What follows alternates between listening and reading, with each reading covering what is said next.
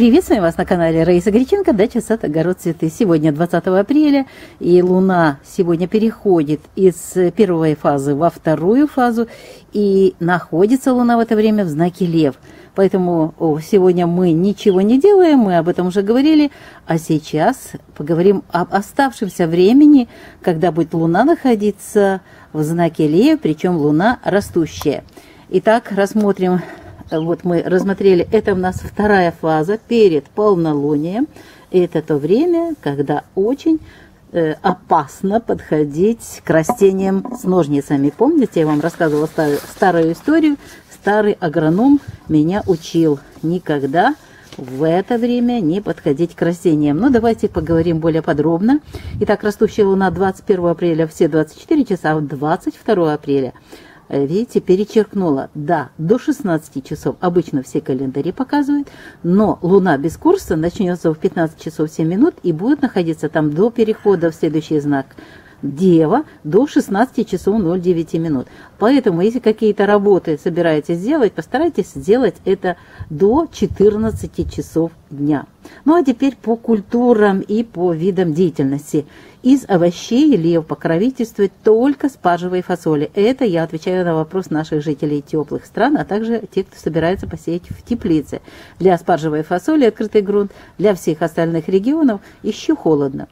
Также кто э, высаживал, высевал лук из семян, рассадный получил и собирается высадить, можно высаживать, тем более, чтобы посеяли в знак тельца при убывающей луне, все хорошо получилось, и можно высадить для того, чтобы получить репку. А вот если хотите получить витаминную зелень, тогда вот лук-репка очень хорошо для этого подходит. Для витаминной зелени на салаты. Это великолепно. Следующее. Посадка растений и рассады не рекомендуется.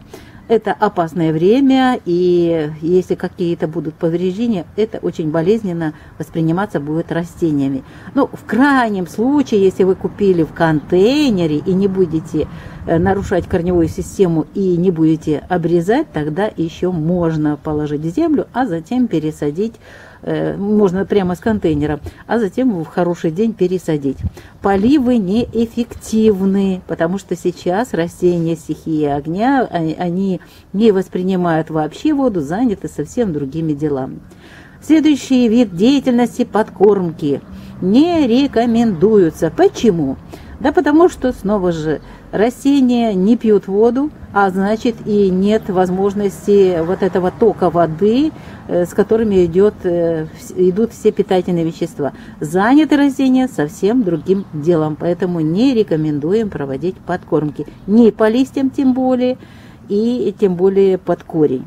В саду, вот это то, что я еще раз хочу напомнить, в саду нельзя обрезать садовые растения – а вот если э, нужно в теплице зеленые, то это аккуратненько, сразу же обработать ранку. Но лучше это пройти мимо, перенести на другой день. Поэтому можно только в экстремальных случаях для зеленых растений. Но нельзя обрезать садовые растения. Это очень болезненно, тем более у нас полнолуние скоро. Ну и обработки. Очень хорошо обрабатывать биопрепаратами. Э, это для овощей, для закрытого грунта очень актуально.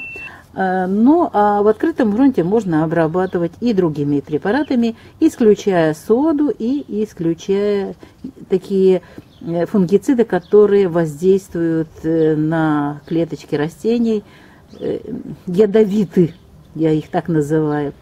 То есть щелочные, которые разрушают клеточки. Вот любые вот эти препараты их нужно исключить. Лучше биопрепараты и настои трав.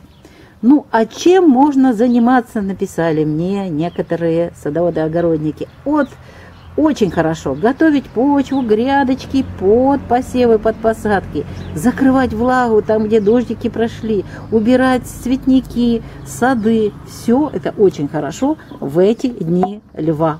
Ну что ж, э, Раиса Греченко, Александр Волик прощается с вами. Мы поговорили о том, что мы будем в ближайшие дни делать.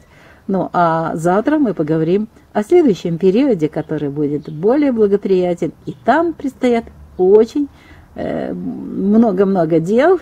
большой объем работы нам предстоит. Так что до новых встреч в новых видео.